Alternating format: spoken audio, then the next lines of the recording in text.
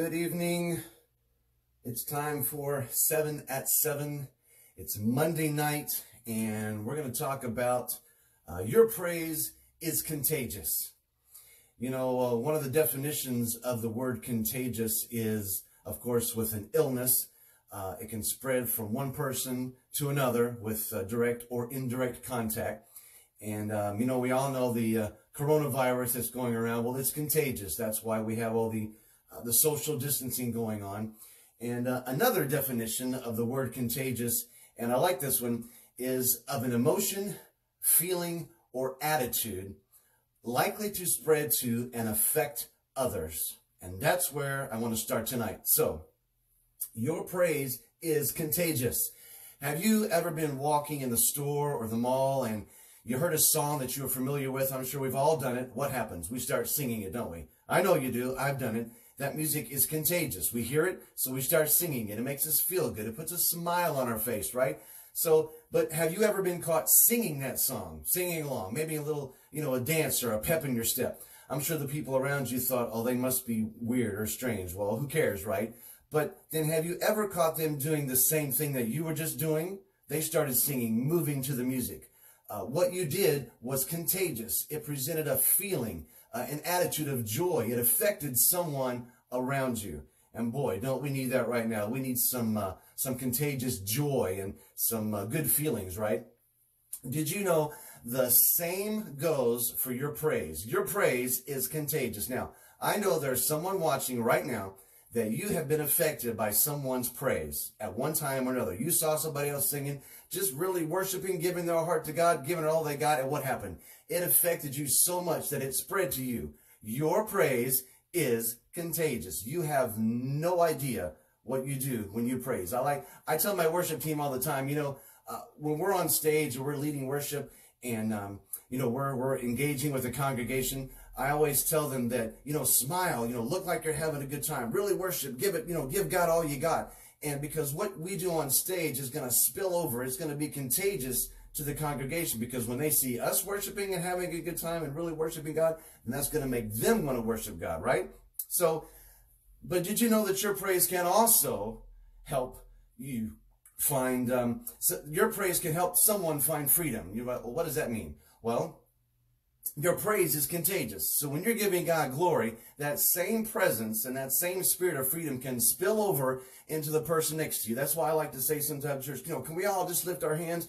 You know, there might be somebody sitting next to you that, you know, maybe they had a bad day or maybe, uh, you know, their, their week wasn't too good. Well, if they see you lifting your hands and they see you really worshiping and going after God, you know what? That's going to make them want to say, okay, yeah, I'll, I'll, I'll try that out. And then by the same time, they can find freedom in giving God praise. And here's a good story that I found that I just absolutely love this. It's Luke chapter 18 and starting in verse 35. And I want to read this. And this is about when Jesus heals the blind beggar.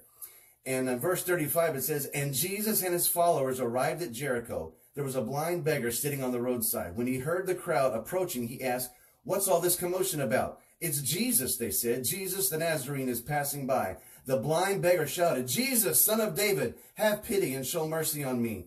Those who were in front of the crowd scolded him and warned him to be quiet. But the blind beggar screamed out even louder, Jesus, son of David, show me mercy. Suddenly Jesus stopped and he told those nearby, bring the man over to me. When they brought him before Jesus, Jesus asked the man, what is it you want me to do for you? Lord, he said, I want to see again. And Jesus said, now you will see. Receive your sight this moment, for your faith in me has given you sight and new life. Now here's the verse.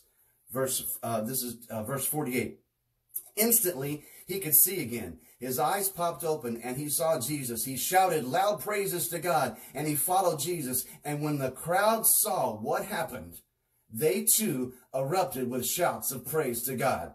When they saw him giving praise, then that made the whole crowd, he made a whole crowd of people erupt in this gigantic, huge, uh, you know, I can just imagine the sound of, you know, when he got, when he was healed, he began to praise, and that made the crowd praise, right? So, you know, that, that's so exciting that our praise is contagious. That's what I titled this little short thing tonight. And um, I'm sure you're familiar with the story of Paul and Silas, uh, you know, when they were in the prison. You know, when they begin to praise at night, uh, the, the doors open. Every prison door was open. All the chains fell off and it shook the building. Now, I'm sure the song they sang was not some cute little, uh, you know, some little hymn or some little, you know, kumbaya. I'm sure they really lifted their voice, shouted to God, I'm going to see a victory. I'm going to see a victory for the battle belongs to the Lord. I mean, I'm sure it wasn't that song, but you know, you, you get the point. Because of their praise, the whole place was set free. Because of their praise, every prisoner's chains fell off, the doors opened, and they were set free. Tonight, as we gather in our homes, as we worship together later on, you know, when we do the worship at home, I just challenge you, open up the windows, let the praise spill out the windows into the street. Um, when, when, we, when we first began doing this, uh, I started singing and playing in my apartment.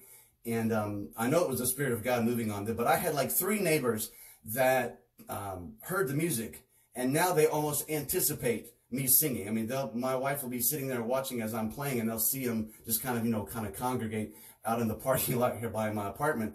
But and I try to have the sliding door open when I'm, you know, when the weather cooperates, uh, you know, that way they can hear. But my upstairs neighbor got emotional one day. This is so good.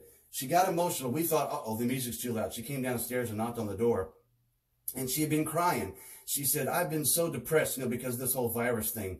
And um, she said, when she heard the music, she said that it just made her feel better.